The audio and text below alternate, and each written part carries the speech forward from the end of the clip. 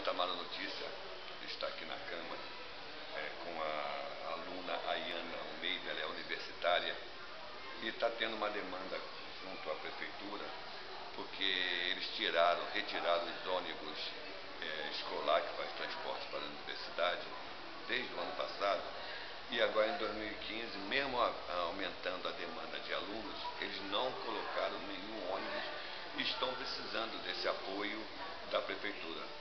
É isso? Boa noite, Ayana. Boa noite, é isso mesmo. A informação está correta.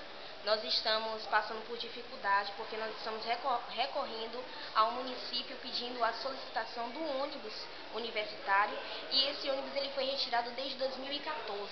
Lembrando e ressaltando que a demanda de alunos praticamente triplicou.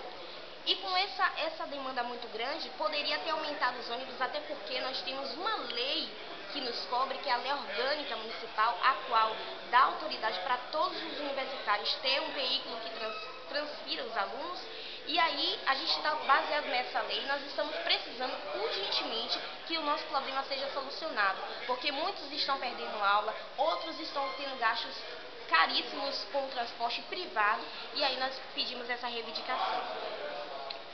Ayana, vocês já, já tiveram alguma audiência com o prefeito? Não, a gente não teve audiência nenhuma com o prefeito, até porque nós fomos direto ao Ministério Público, junto lá nós damos continuidade a um processo que já tinha em aberto, e aí nós damos procedência a esse processo para que o nosso problema seja solucionado.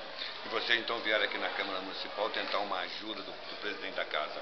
Isso, nós viemos aqui hoje pedir uma ajuda a todos os, não só ao presidente, mas como também a todos os vereadores presentes aqui. E qual foi a receptividade? Foi, foi ótima, inclusive ele nos atendeu é, e disse que vai estar junto conosco nessa causa também.